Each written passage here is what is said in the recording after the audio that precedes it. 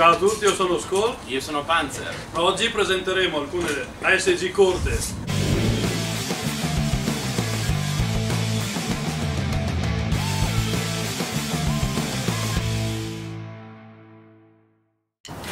Benissimo, sappiamo che quindi le pistole si suddividono, possono suddividere in due grandi categorie, gas e CO2. Che differenza abbiamo, caro Skull? Allora, le differenze principali sono che le pistole a CO2 hanno il funzionamento appunto tramite bomboletta di 12 grammi, come queste qua inserite nella maggior parte dei modelli, nel caricatore. Ha molta spinta, una potenza appena appena superiore rispetto al gas. Gli unici aspetti negativi delle bombolette di CO2 sono che la sostituzione è un pochino più lunga e macchinosa, ovvero in molti modelli devo tramite brugola allentare il grano, sostituire la bomboletta con una nuova, quella vecchia comunque la devo tenere, me la devo tenere addosso. Non, non ha la stessa durata del gas ovviamente.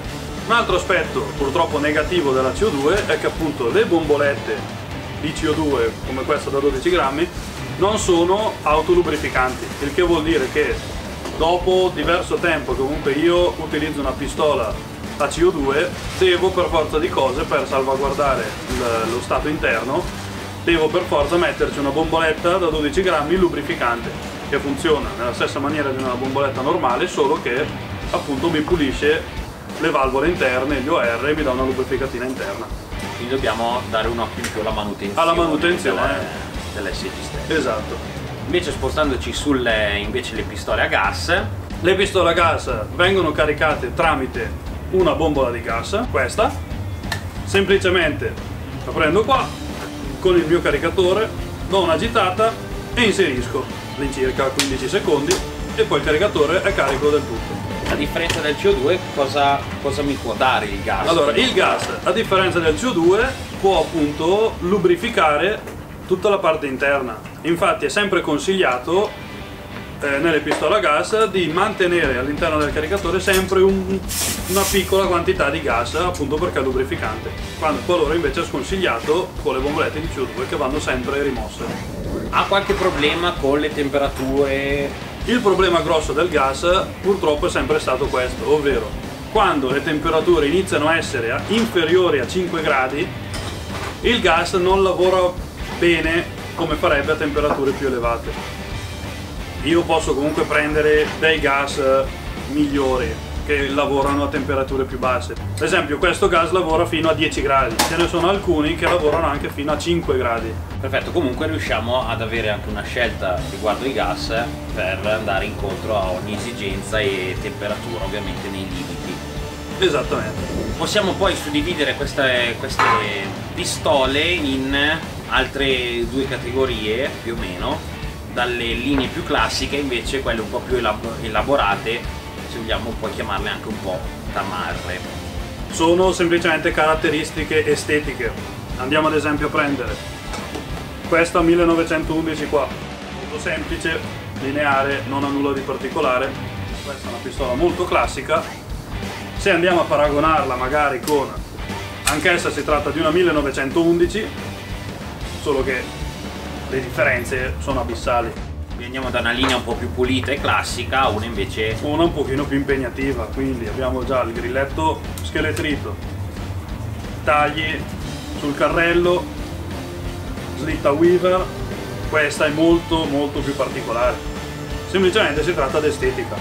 Io qua vedo eh, parecchie pistole, sono otto pistole, ti vado a chiedere un po', non troppo nello specifico, ma una panoramica di, di queste pistole, se riesci a far capire un po' a tutti cosa, cosa abbiamo qua da, da far vedere. Ovviamente sono tutte blowback scarrellanti, assolutamente. Che cosa significa? Una pistola scarrellante significa che ogni volta che io vado ad azionare il grilletto per sparare, tutto il carrello esegue lo stesso movimento di quello che farebbe un'arma vera. Ovviamente con molto meno rinculo, si tratta di CO2 e pallini di plastica. Partendo dalla mia destra abbiamo M91 versione americana con carrello nero e castello verde a CO2. Abbiamo qui la 1911 che abbiamo visto poco fa, sempre a CO2. Questa qui invece, questa pistola si tratta di, di una Sig Sauer P226 molto bella, molto realistica, a CO2, sempre marcata KJV, particolare perché, come nell'arma vera, ha la batticane, appunto per abbattere il cane.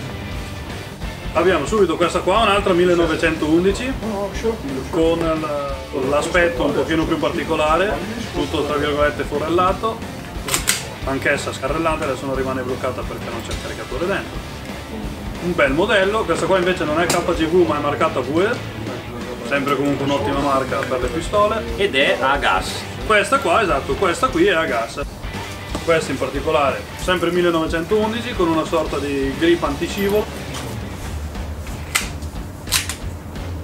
Ottimo funzionamento, ottimo scatto, ottima presa, dammi, dammi conferma. Molto carina anche questa, comunque ragazzi sono veramente eh, come peso e come aspetto comunque estetico molto simili e realistici. Sono molto veramente realistiche, assolutamente. eh, molto molto ben fatte, molto belle. La penultima, una un M9 a 1 a gas, molto simile al primo modello che abbiamo visto, semplicemente che questa qui è di colorazione tutta nera. Non è nient'altro di speciale, sempre scarrellante, molto simile alla prima che abbiamo visto. Passiamo ora a un modello un pochino più particolare, che è questo qua.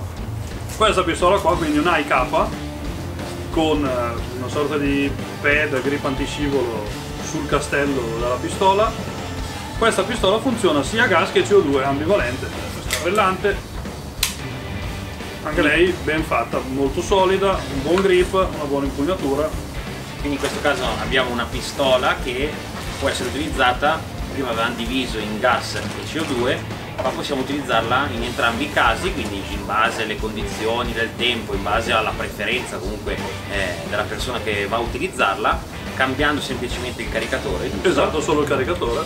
Possiamo quindi scegliere il propellente più adatto alla situazione. Esattamente.